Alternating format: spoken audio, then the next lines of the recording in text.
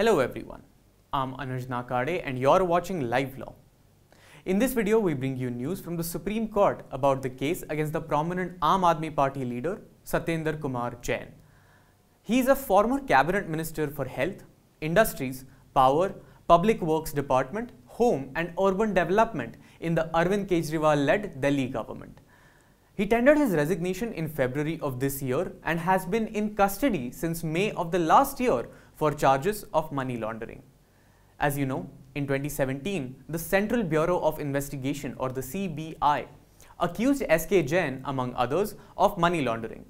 The allegations against SK Jain are that he carried out money laundering of about 11.78 crores between 2010 to 2012 and rupees 4.63 crores between 2015 to 2016 as a minister in the Delhi government.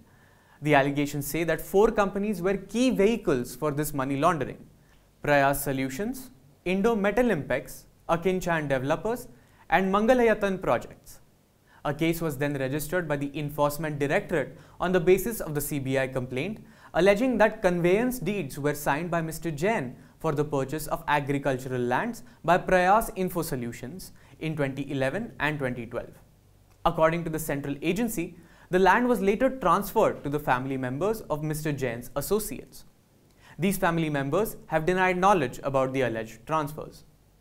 Then, in 2022, the Enforcement Directorate attached properties worth rupees 4.81 crores from five companies and other accused persons in the money laundering case.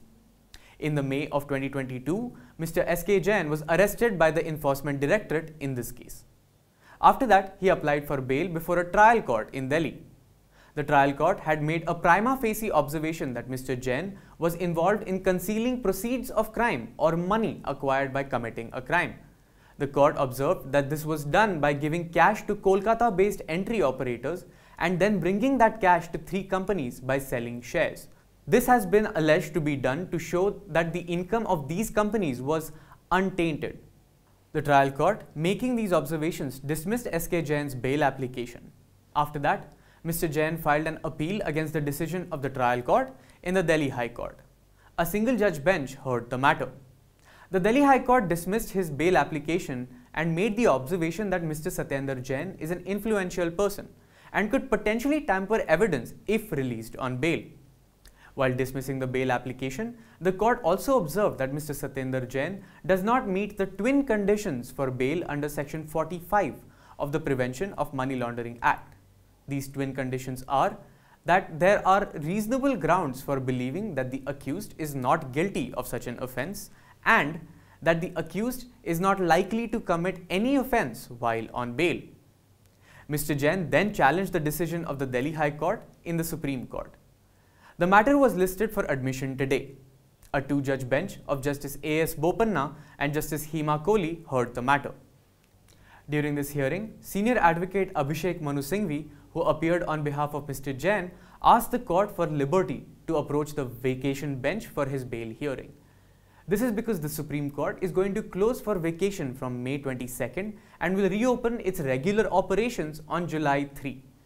The senior counsel told the court that Mr. Jain is going through extreme health problems. His exact words were, and I quote, the man is a skeleton. He has lost 35 kgs. He is facing extreme health problems. He is 416 on the waiting list. Additional Solicitor S.V. Raju appeared on behalf of the Enforcement Directorate and was given permission by the court to file objections to Mr. Jain's plea for bail on behalf of the central agency. The Supreme Court has issued notice in the matter. The court has also given liberty to approach the vacation bench to Mr. Jain. That's all we have for you in this video. Hope you found it informative. If you did, please leave a like and tell us in the comments how we can shape our content to bring you your legal news in more engaging ways. Remember that we cover a lot of PMLA cases on this channel and you can watch some of them right here. Don't forget to subscribe to our channel and hit the bell icon for notifications. Thank you.